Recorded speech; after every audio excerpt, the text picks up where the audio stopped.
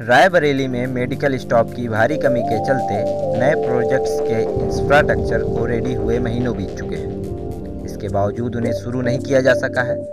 इस दौरान आने वाले तीन महीने मरीजों और ज़िले के सभी मेडिकल स्टॉप के लिए कठिन साबित होने वाले हैं। रहे हैं रायबरेली के सीएमओ से और जानेंगे कि आखिर जो उनके यहाँ से स्टाफ गया है, उसका गैप वो कैसे फुलफिल करेंगे?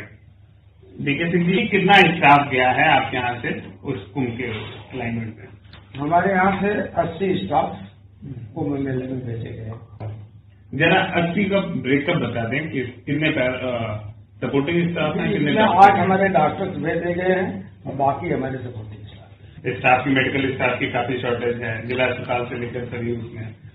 जो आठ डॉक्टरों का मूवमेंट हुआ है इसको आप कैसे कोप अप करें? देखिए शासन के निर्देश पर ही मैं भेजा हूँ इसलिए इसमें कम्युनिकेशन करने की कोई आवश्यकता मैं नहीं महसूस जहाँ तक कोप अप करने की बात है तो हम लोगों ने इस बात का ख्याल रखा है कि जिस स्पेशलिटी के मरीज़ भेजे जाए डॉक्टर भेजे जाए, उसमें सभी डॉक्टर ना भेजे जाए।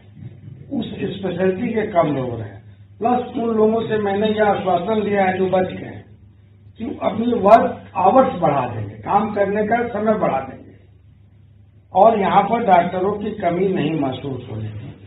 आप निजी डॉक्टरों का आईएमए का सपोर्ट ले सकते हैं उसके बारे में आपने क्या डिसाइड किया?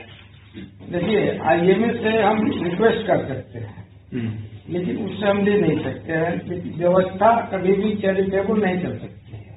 हमारी समझ से या शासन के समझ से अगर शासन को आयोजित करवा रहा है तो उसमें हर तरह की व्यवस्था देना शासन का कर सकते है। तो उसी का एक पार्ट लाइब्रेरी भी है। हमें शासन द्वारा निर्देश प्राप्त हुआ, जितने लोगों को भेज दिए जाए इस इस कैडर के मैंने उनको भेज दिया। ये ज़रूर मेरे बात मेरे दिमाग में आई उसको कब हम कैसे करेंगे। उसके लिए हमने अपने अधिकारियों से, अपने कर्मचारियों से वार्ता किया। और सभी ने मुझे आश्वासन दिया कि हम इसमें कहीं कमी नहीं आने देंगे काम में।